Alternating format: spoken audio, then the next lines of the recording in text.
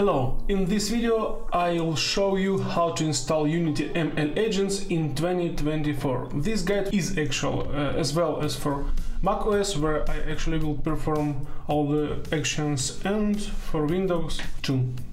So let's begin. Firstly, you need install any Python. Just go to official site, uh, to download section and find Python for your uh, operation system and install it. Then verify that Python is actually installed. So Python 3 version or for your system it can be just Python. If you installed Python but uh, it doesn't work, in this case you have to add the Python in system variables, so just find in Google how to do it.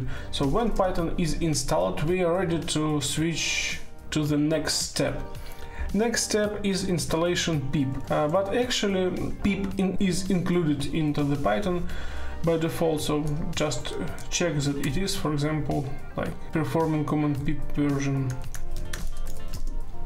So the next step is installation of tool that provides you ability to work with virtual Python environment. It allows you to have at the same moment different version of Python in the system and it will help us to deal with specific requirements of Unity ML agent uh, implementation. So to do it, uh, type pipe install pipenv.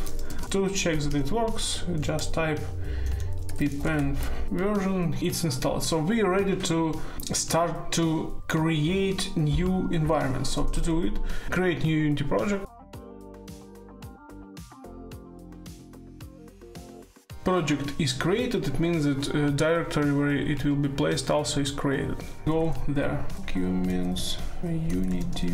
Install ml agents. Cd folder assets where it is. And type mk dir config ls-a so we have a new folder config here. Uh, go into the folder cd config. We are ready to start to create virtual environment to do it. Uh, we have to launch the command pipenv install python 3.9. Right now virtual environment is created, but we are not actually right there. We just should uh, perform the command pipenv shell when we stay at the uh, directory when we created uh, virtual environment and shell. So here we are. We are in the virtual environment. Next action is to installation of Unity ML agent.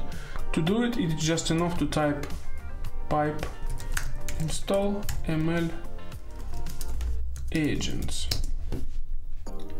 In the Mac OS, usually it's performing without any issues, but for Windows, it also can finish without any issues, but when you will try to launch ML agent, the attempt will be failed because of uh, lacking library PyTorch. You can just install Torch by uh, performing the command pipe 3 install Torch and spe specifying the version 1.11.0. So I have it already installed. Uh, now you is ready to continue. And the last step which we have to perform is to downgrade the library proto protobuf. In some reason the stable work is granted with lower version of protobuf, uh, so we have just to type pipe 3 install protobuf version 3.20 at the moment we completed all requirements to start to work with ML agents. So just to verify that everything works, type ML agents learn and press enter. First launching can take some time, next will be faster. So if you'll see this picture and it listening some port, everything passed fine. You can just start to implement your first agents and start training.